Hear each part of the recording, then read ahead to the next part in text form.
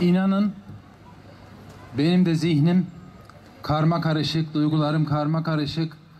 Sayın Cumhurbaşkanımızın konuşmaları 15 Temmuz 2016 gecesi yaşananların görüntüleri gerçekten duygularımızı alt üst etti. Benden önceki konuşmacılarımız, sayın komutanımız, belediye başkanımız yaşanan dehşet gecesini birçok yönüyle anlattılar. 15 Temmuz 2016 şanlı tarihimize bir demokrasi destanı olarak altın harflerle yazılacak.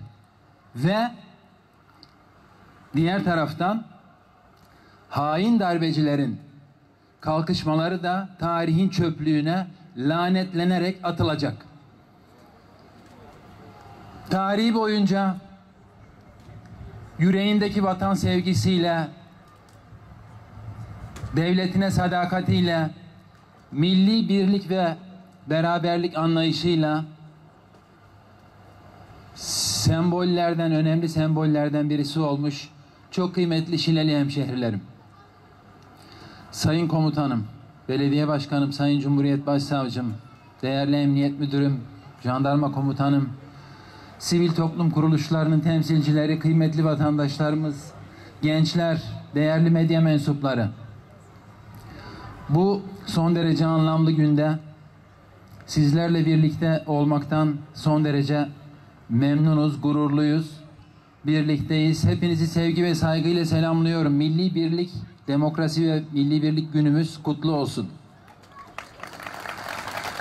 15 Temmuz gecesi tek bir an bile tereddüt etmeden, gözünü kırpmadan, göğsünü silahlara siper eden, tankların önüne bedenini siper eden aziz milletimiz, yüce milletimiz bu hain darbe girişimini bastırmıştır. Şehitlerimizi ve gazilerimizi rahmetle, minnetle, hürmetle, şükranla anıyorum. Ben de o gece Ankara'daydım. Görevim Ankara'daydı.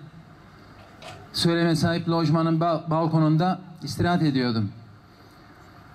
Saat 22 sularında gerçekten anlamlandıramadığımız bir şekilde Çankaya'da oturuyoruz.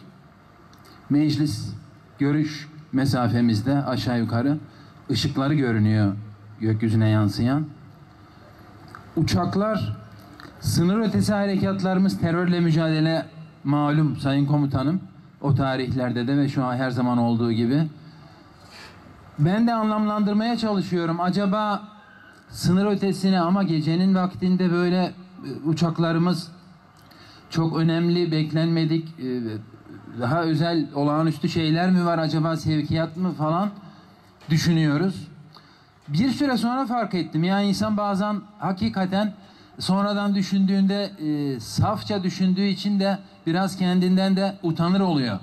Çünkü biraz fazla düz düşünüyoruz. Şeffaf düşünüyoruz, iyi niyetli düşünüyoruz. Aklımın ucundan geçmiyor ki böyle bir şey olacağı.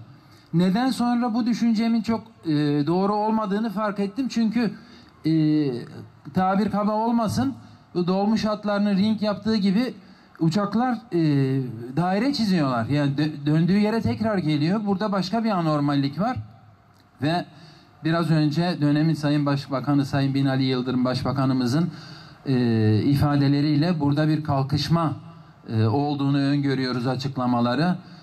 E, devamında malumunuz izledik. Sayın Cumhurbaşkanımızın çok önemli tarihi bunu e, nitelemek, e, takdir etmek haddime değil estağfurullah. Lakin bir Türkiye Cumhuriyeti Devleti'nin e, vatandaşı olarak, milletin bir ferdi olarak niteliyorum. O büyük davet üzerine e, bu milletin her bir ferdi yedisinden yetmişine Türkiye'nin dört bir tarafında başkentinde İstanbul'da, İzmir'de, en ücra köyünde, kasabasında, sokaklara, caddelere sel oldu aktı. Sel oldu aktı. O gece benim fark ettiğim biraz önceki görüntülerde de tekrar o duyguları yaşadığım bir husus var. Bunu dışa kapalı örgütlerin biraz genel e, yapısı olarak ben e, niteliyorum. Kapalı örgütlerin büyük bir enaniyet içerisinde hareket ediyorlar. Çok büyük bir kibir içerisinde hareket ediyorlar. Zannediyorlar ki herkes onlara tabi olsun, öyle olacak, son sözü söyleyecekler. Az önce Sayın Başkanımız da e, adeta duygularıma tercüman oldu. Benzer cümleleri ben de söyleyeceğim. Böyle düşünüyorlar fakat ve düşündüler, kibirle hareket etmek istediler. Fakat hesap edemedikleri şey bu yüce milletin tarihinden beri eğer mesele, eğer konu vatansa, milletse, bayraksa, milli irade ise, demokrasi ise, devletin bütünlüğü ise, bölünmezliği ise orada dur diyeceğini anlayamadılar. Bunu hesaba katmadılar, katamadılar. Katamadılar. Tarihimiz şanlı zaferlerle dolu. Bunu hamasi sözler olarak lütfen algılamayın.